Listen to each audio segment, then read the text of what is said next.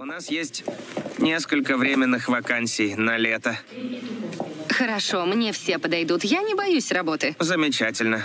Очень хорошо.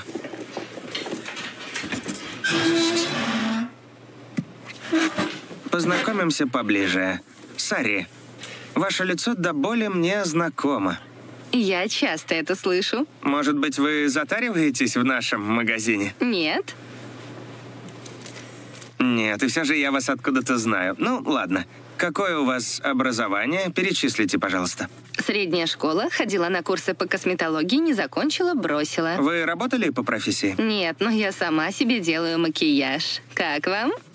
Хорошо, хорошо. Э, Какой у вас опыт работы? Да, последние 20 лет я работала порноактрисой. Что? Снималась в. Это, на удивление, тяжкий труд. Чего?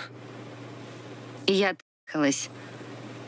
Долгими часами, днями напролет пахала в поте лица. Я думаю, вы, наверное, понимаете, каково это, если в браке. Трахаться, ой, как непросто, казалось бы. Как-то на съемочной площадке подрались два актера, схлестнулись как быки. Думаю, трудолюбие моя сильная сторона. Мы позвоним вам Отлично. Когда? по телефону, Но когда? когда раздастся звонок. Второе пришествие – добрый, легкий, комедийно-драматический сериал об уволенной порноактрисе. 42-летнюю порноактрису Сари увольняют, и ей приходится искать новый способ зарабатывать на жизнь. Она объединяется с 22-летней линией, начинающим режиссером, который изо всех сил пытается поступить в киношколу. Вместе они основывают компанию, производящую феминистские эротические фильмы, и начинают путь к исполнению женских желаний и своих собственных.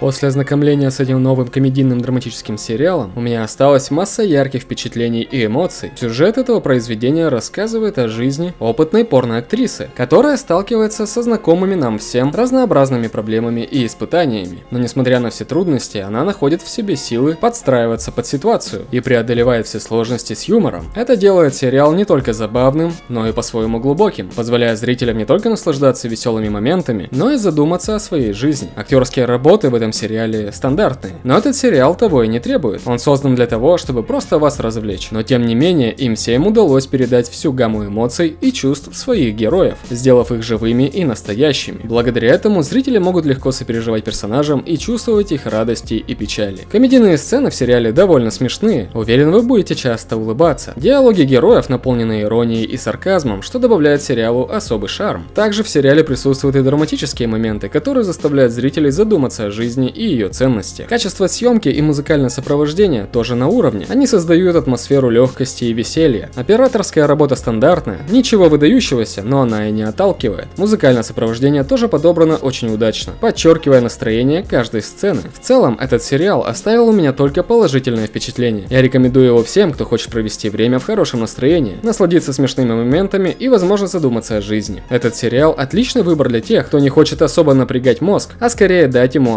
отдохнуть и немного повеселиться. Он заставляет радоваться и грустить вместе с героями, и я уверен, что он понравится многим зрителям. Моя оценка 7 из 10. Второе пришествие.